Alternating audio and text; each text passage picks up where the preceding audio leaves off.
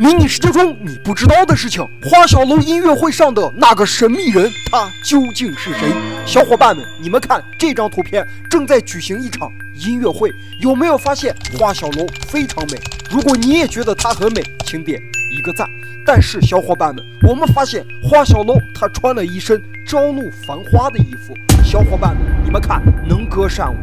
就是花小楼，但是我们发现奇怪的事情就是在右边有喵小糖和幻音，没有错吧？但是在左边，我们发现幻音同样存在，但是这个人他在迷你世界中根本没有存在。